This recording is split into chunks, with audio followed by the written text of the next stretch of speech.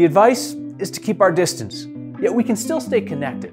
Let's focus on how we can help our community, even if we aren't spending time face to face. A phone call, a text, an email. Check in with friends, family, neighbors.